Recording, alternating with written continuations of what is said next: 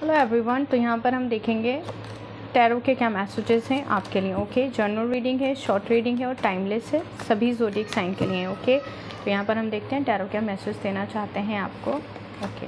मुझे लग रहा है कि आप किसी चीज़ को लेके काफ़ी ज़्यादा कंफ्यूज हैं क्योंकि मेरा डेक दो पार्ट में डिवाइड हो चुका है एम्प्रर टैरो का मैसेज है आप किसी ऐसे पर्सन को डील कर रहे हैं जो बहुत ज़्यादा ईगोइस्टिक है, ठीक है?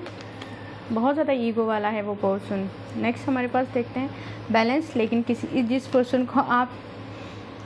डील कर रहे हैं और जिसके साथ अगर नो कॉन्टेक्ट सिचुएशन में है, आप बैलेंस करेंगे उसके साथ, आपके रिलेशनशिप में बैलेंस आएगा, आपकी लाइफ में बैलेंस आएगा ओके